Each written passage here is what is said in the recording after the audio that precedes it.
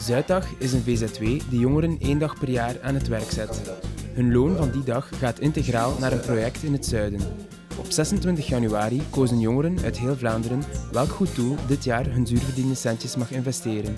Wij gingen samen met hen op zoek naar de winnaar. Passie, hè, dat is ook de titel van ons project. Proef je passie.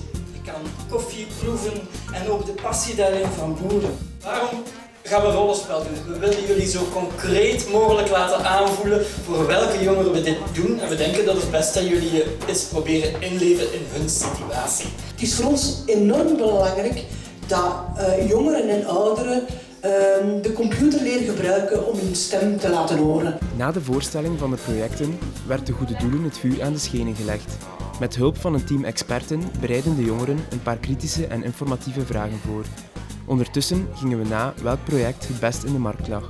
De organisatie van de Vredeseilanden, omdat daar de jongeren, uh, zij willen boer worden en ze willen het uh, beter doen dan hun ouders en bewijzen dat zij het beter kunnen met uh, milieubewustere producten. Trias vooral omdat ze echt heel duidelijk met de jongeren een betere toekomst zullen geven en Uh, ook omdat ze voor gelijke kansen tussen jongens en meisjes willen gaan. Ik denk Max VZ2 omdat dat een heel origineel project is.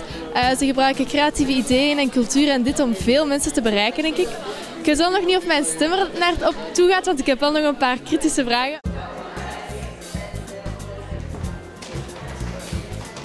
Uh, hoe gaan jullie de communicatie rond Zuidag op grote schaal aanpakken? Dwingen jullie dan niet die jongeren om toch koffieproef te worden? Het onderwijs in Brazilië is catastrofaal. Als er mooi in een fabriek naar Santa Rosa de Copan komt, dan gaan ze meer mensen kunnen zetten. Je kunt jongeren niet afzonderlijk zien van hun ouders. Dat is, dat is een cirkel. En die ene winnaar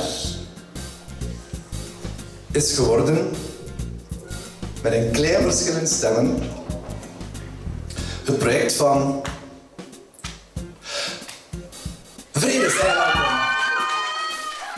De overwinning werd gevierd met een optreden van het energieke rappersduo Kleine Ben en King B. Maar wat betekent deze zegen nu voor Vredeseilanden?